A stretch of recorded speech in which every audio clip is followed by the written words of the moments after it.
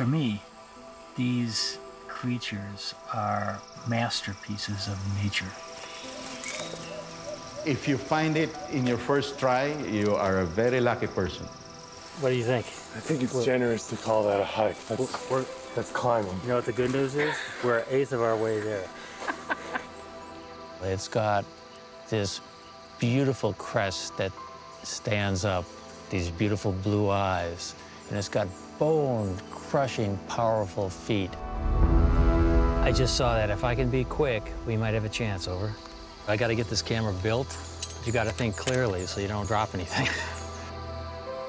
Given the rarity of this bird, we cannot take chances.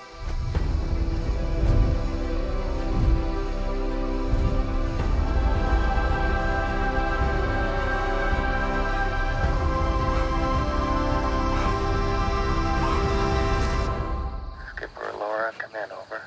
Yeah, Neil. We got a baby Philippine eagle.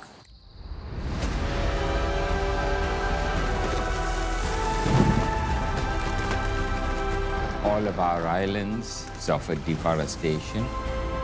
No one was watching, so they just cut with impunity. A baby is so fragile. I think a, a cold rain could kill a young eagle in an hour and a half, two hours.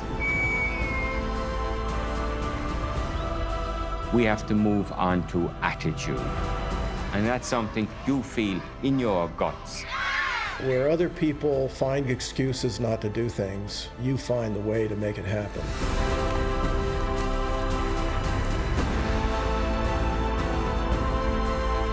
It's a race against time, and time's not on their side. What it has for the human spirit is immeasurable. Okay, you ready? I personally cannot stand the thought of these masterpieces becoming extinct. And so there's a handful of people that want to do something about it. And I'm one of them.